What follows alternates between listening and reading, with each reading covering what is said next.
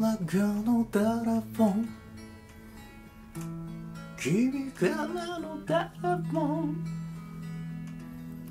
少しだけでも真夜中のテレフォン真夜中のテレフォン二人のテレフォン話そう真夜中のタラフォン最終電車だ。君が戻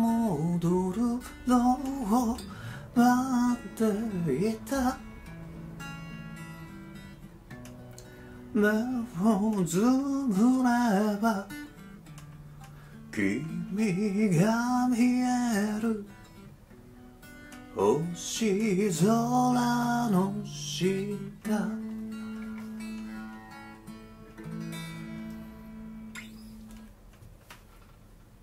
今日はもう随分久しぶりに単調会の方また、きました。2ヶ月ぶり2ヶ月ぶりくらいだって奥さんが言ってましたけどああしばらく行ってなかったなと思ったんですけど場所が八津干潟って埼玉県じゃなくってあの千葉県の方の、え、干潟に市議千鳥の観察をメインに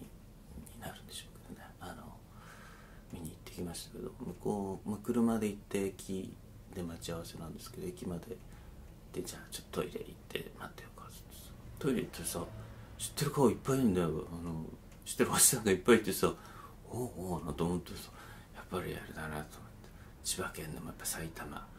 海なし県のある市議千鳥の観察みんな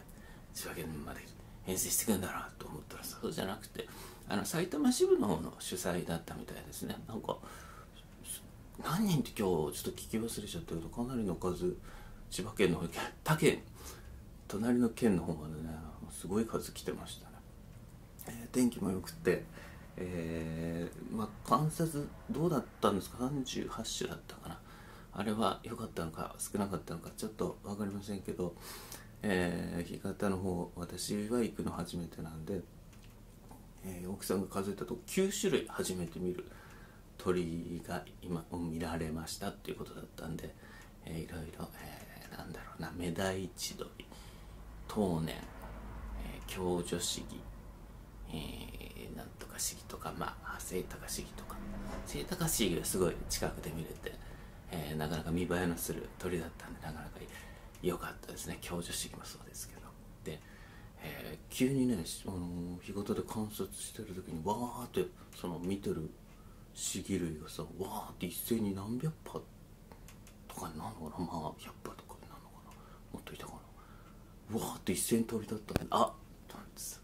これはと思ったらやっぱり誰かが「はやぶさです」って「あ出た」と思ってさはやぶさ目の前せーってこう通り過ぎてなんか加えてますね後でどうも共助修行1は捕まえて飛んでったみたいですけど僕はそこまで確認できなかったんですけどまあ目の前すぐすぐってはやぶさが飛んでったりして僕はやっぱり猛禽が好きなんでああいいの見たなと思ってながら今日もねまあ何より天気が良くてお花もツツジが綺麗ですねやっぱりねそういうのをたくさん見れてよかったですね今日も。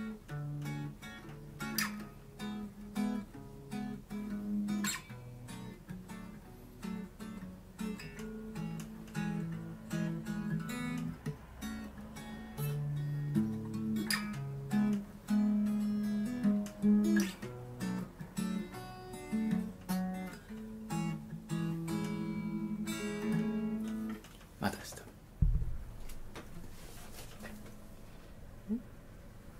あれ？今撮ってた？あ撮って